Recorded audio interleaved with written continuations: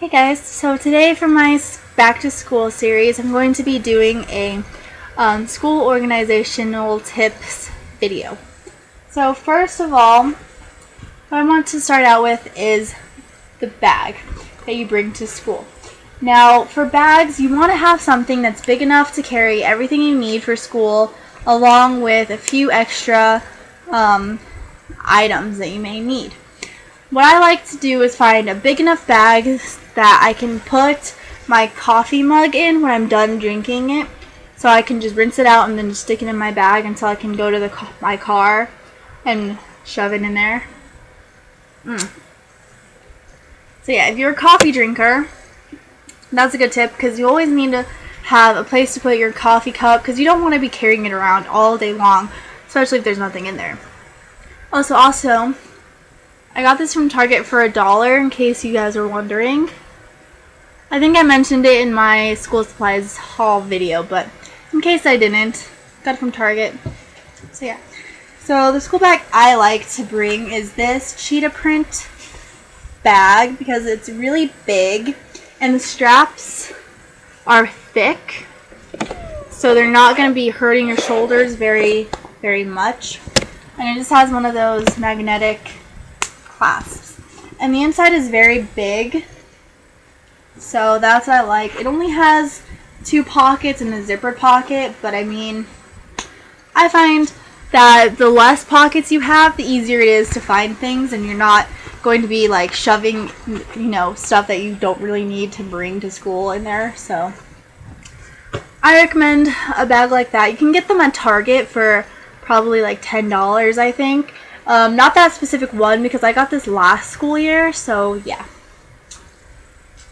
Okay, so what I recommend doing for notes and stuff is having post-it notes. Now, I put my post-it notes in this container and I actually bought mini binder clips that came in this container, but I decided to use it for post-it notes. So the types of post-it notes that I personally recommend you have are these tab ones because you can use these to divide off your um your notes. So like if you have like chapter 1 notes, chapter 2 notes, chapter 3 notes, you can just tab it and these are erasable and reusable. So that's pretty cool.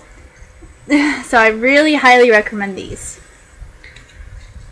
Also, I recommend these um, arrow ones because if you want to make like when you're studying and you know that you have to learn a specific term or you have to know a specific thing, you can just write down like must know on the the flag it, itself and then have it pointing to that term or that definition or that diagram or something and you'll know that that's something you really need to know. To know. Um, I use this all the time and it's they're amazing. Then I just have regular flags. And I basically use these just to mark um, where my reading is in a book or if I have a homework assignment where like for math. Like if I have to do like chapter 1 lesson 2 and chapter 3 lesson 1 I can just tab them so I know exactly which pages my homework's on. Now these are kind of different because these are just pretty much regular post-it notes but they're cut down in size.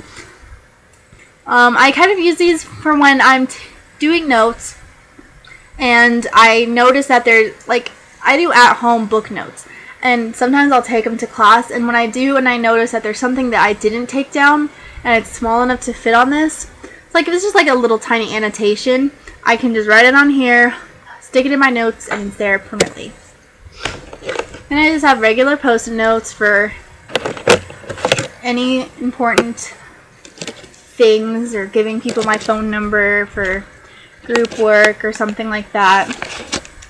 Just post-its are a good thing to have and they are really helpful when it comes to studying. So I really recommend these. Okay, so next is the pencil pouch. Now get a pencil pouch that's big enough to hold everything you need. Now I carry kind of a lot of stuff in my pencil pouch, but I kind of think it's necessary. So the first thing I have are two pencils. I always have two pencils with me just in case. And I always have just one rubber um, pencil gripper just because I hate writing like this. Because I write like this and it kind of hurts after a while. So I use pencil gripper and it doesn't hurt as bad. So I just have two pencils and the pencils I recommend are any pencil that is 0.9 lead. Just because it's better. So always have two pencils. And along with the pencil, if I can find it in here. Yes, I can. Always have a white eraser. Because if you notice, on the top of the pencil, it comes with a white eraser. But, you know, that eraser goes by really quickly. So always have one of these for corrections. And then always have extra lead. So, that's important. Okay, now, these aren't necessary to have unless you're me because I'm weird like that, but I love having Sharpie pens. I don't know why, I just love these so much, especially because they have these colors, pink, blue, and teal. They also have a peach one, but I don't really like that one. But yeah, I really love these ones, and I use them all the time especially in my um, agenda. But yeah, love these, have to have them. so yeah. Then I have my favorite pens. I refuse to use any other pens other than Sharpie pens or these. And these are Papermate Profile pens. So I just have a basic black one for any classwork or in-class essays or anything I have to turn in. I have a red pen for correcting. And then for, I have these three for my classes. So, yeah, for American Sign Language, I think it's purple. Yeah, it's purple. Um, this is just basically for notes. These are just basically, that's all, for notes and anything that I'm not turning in. I use those. And then I have highlighters. And I love the Sharpie accent highlighters that are the bigger ones. So I have, these are the ones I use. It comes with the green one, but I hate what the green one looks like, so. Of course I have the ones in my class colors. I don't use them specifically for that, but yeah. And then, the last thing I have in here are binder clips. Just because I'm obsessed with binder clips. I use them all the time, and I'll show you how I use them, because I'm actually using one in my agenda right now. So you'll be able to see what I use them for specifically. trying to keep this video under 10. Oh, under 15 minutes, but if I can't, I'll just do part two. Okay, so the next thing I recommend is an agenda. I got this one from Barnes & Noble, and there's the binder clip I was talking about.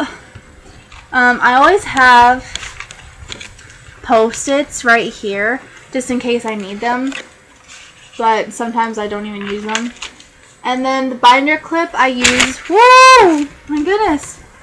Okay, the binder clip I just use to hold the papers that, or the weeks that have already passed. So here's this week, and here's the tab, and here's the little binder clip that's holding all the previous weeks.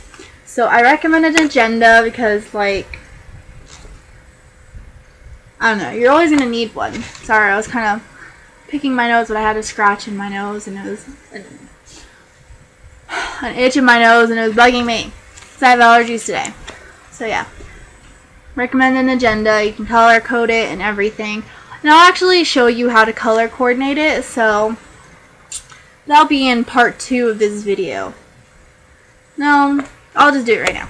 Okay, so I'm just going to find a blank week. Okay, so here's a blank week. So I'm going to use Friday as an example. So Friday, July 27th. Okay, so I'm in class and I have homework to do for each class. Now, there are a few different ways you can do this. So I'll show you the, the ways that you can do this. If I can get these out of my binder or my pencil pouch because I have a lot of stuff in here. Okay, so I do not recommend using pencil on your agenda because that just it just goes away really fast. Okay, so say for American Sign Language, I have read chapter 1. So taking a black pen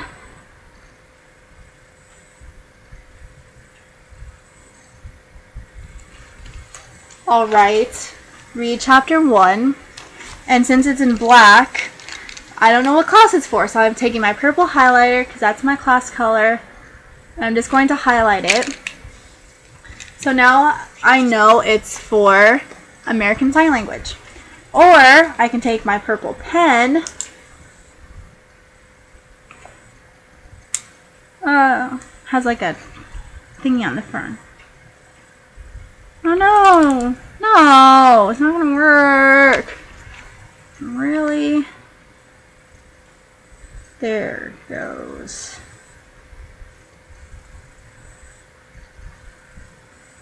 Give me a second here, folks. Okay, or you can do this and have it like that. You can also use post-its, but in this kind of um, planner, I don't recommend it just because it's kind of small and you're going to run out of space very, very quickly, especially if you go to school five days a week. I only go three days a week, but you know. You know how it is. Uh, I'm going to have to split this video into two. So before this gets too long, um, this is part one. I'm going to record part two. So yeah, keep an eye out for that.